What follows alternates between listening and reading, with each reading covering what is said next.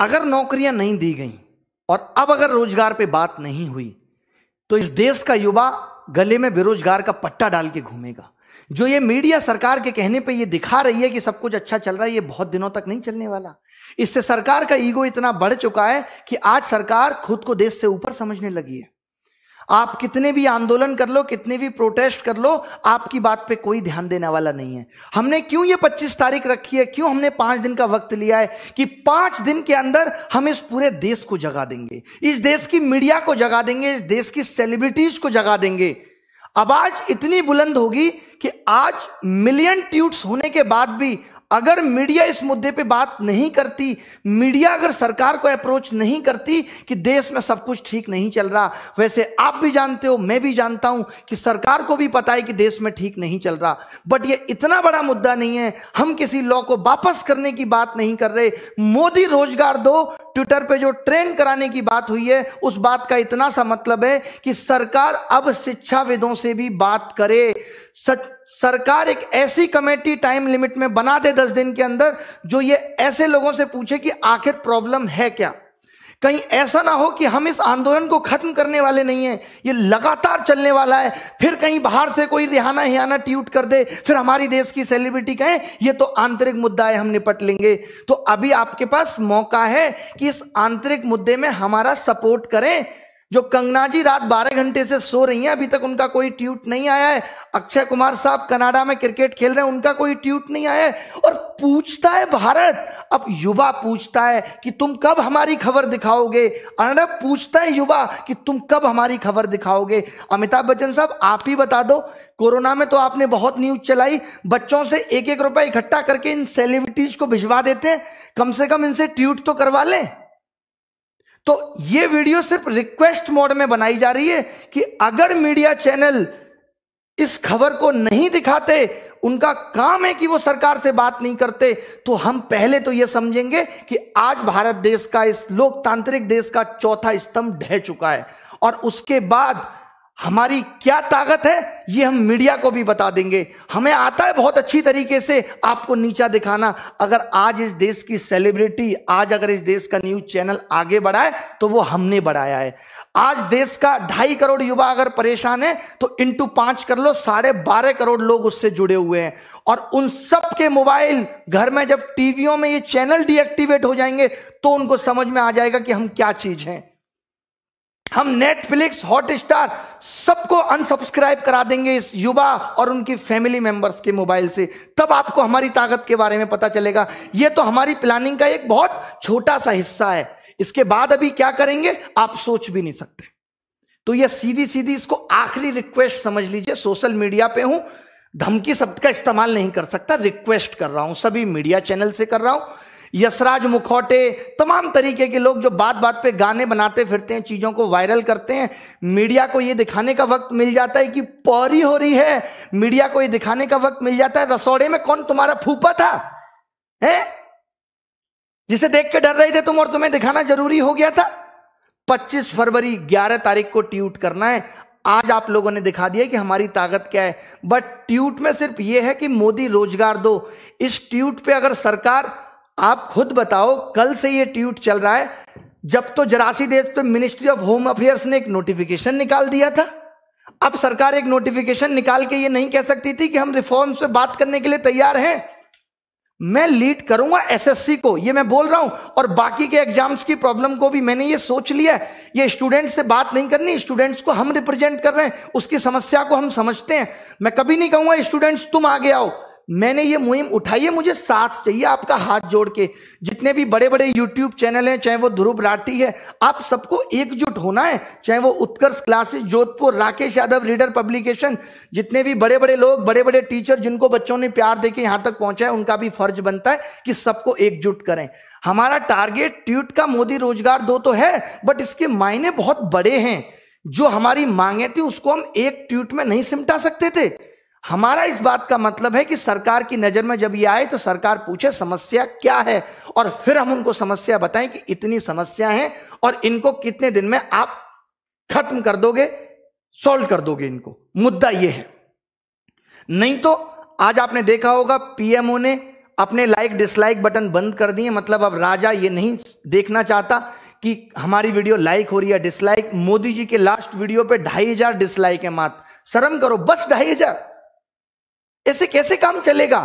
कम से कम मिलियन में डिसलाइक भी करना है। मिलियन में डिसलाइक करना है कमेंट करना है वीडियो को रिपोर्ट करना है। सर, देखिए, अब अगर ये आंदोलन हम सफलता इसमें नहीं ला सके तो मुझे नहीं लगता हम आगे ला पाएँगे। पाँच दिन लिए हर एक इंसान को जगा दो। अगर ये पाँच दिन हमने ताकत लगा दी तो हम जीत कर रहेंगे, वरना ये आंदोलन भी मात्र टाइम पास बन के रह जाएगा।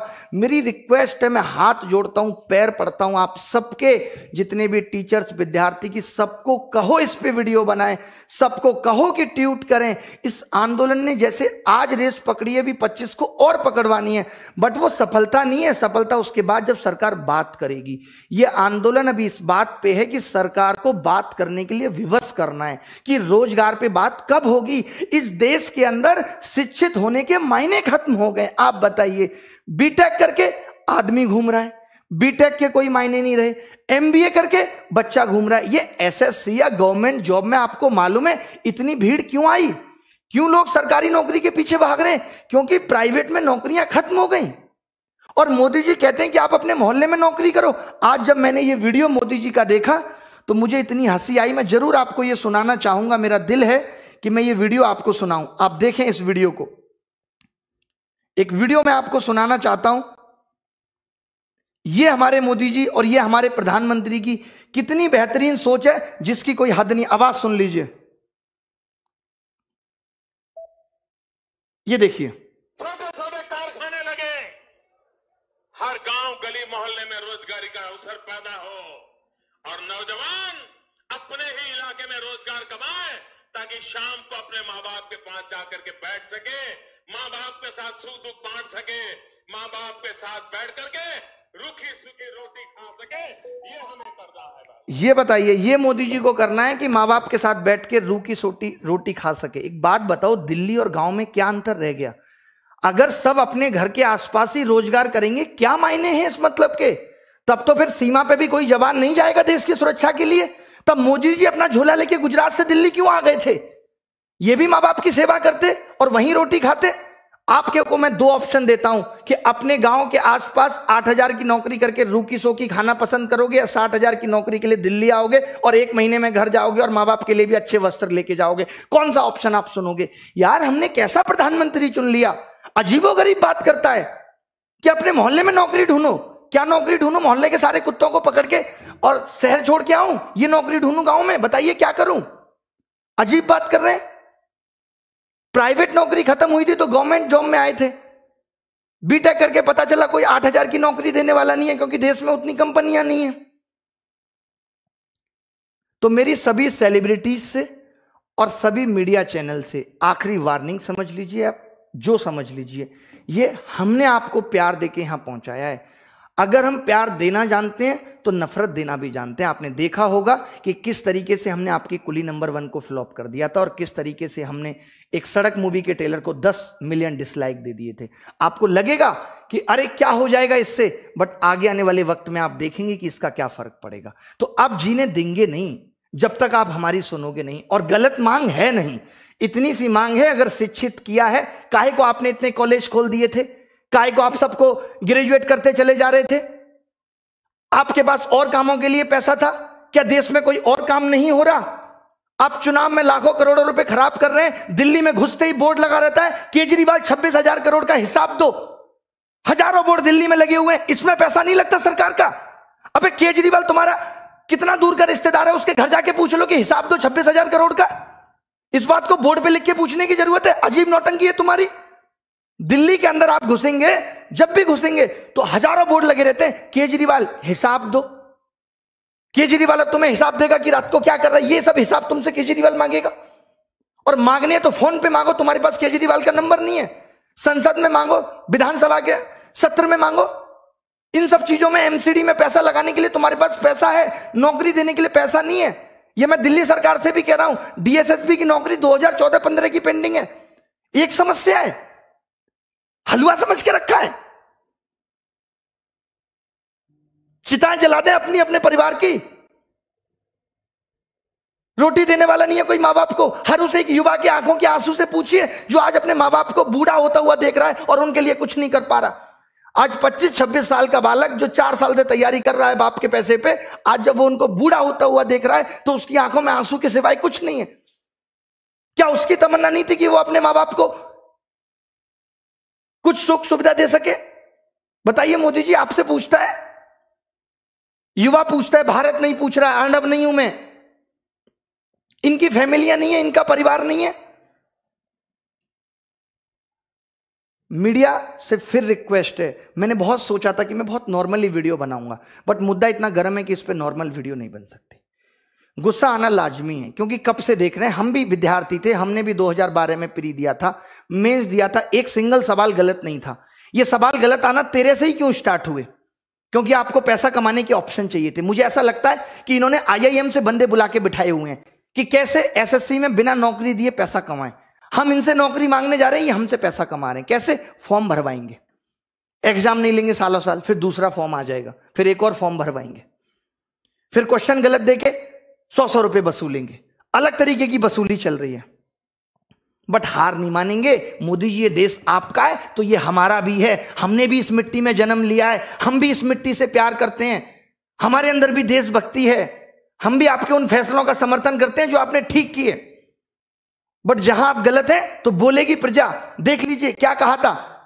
चाहे अब्दुल कलाम साहब हो, किसी विद्यार्थी की सबसे महत्वपूर्ण, ज़रूरी विशेषताओं में से एक है, प्रश्न पूछना। प्रश्न पूछने में कोई संकोच नहीं है। अगर मैं गलत हूँ तो कलाम साहब भी गलत थे। और इनको गलत कहने वाला कोई पैदा नहीं हुआ। राष्ट्रीय युवा दिवस। स्वामी विवेकानंद जी ने भी कहा था, उठो, जागो और तब तक मत रुको जब तक लक्ष्य की प्राप्ति ना हो जाए तो रुकने वाले हम भी नहीं हैं। और ये प्रॉब्लम सिर्फ़ एसएससी की नहीं है। Railway, bank DSSB UP police MP police, हर एक एग्ज़ाम की ये समस्या है कि इतना भ्रष्टाचार है, इतना भ्रष्टाचार है, जिसकी कोई सीमा नहीं है। अरे करो लिमिट में करो, दस परसेंट, पंद्रह परसेंट करो, तुम्हारे भी भतीजे, फूफे, चाचा के लड़के हैं, हम कह रहे हैं उनको भी नौकरी दो बट बाकी तो कुछ फेयर करो। या बाकी की पोस्टें बेचनी है तुम्हें? Don't take rest after your first victory तो ये मत सोचिएगा कि आज अगर हमारा ट्वीट इतना ट्रेंड हो गया, अब हम शांत हो जाते हैं। ये तो सिर्फ़ शुरुआत थी।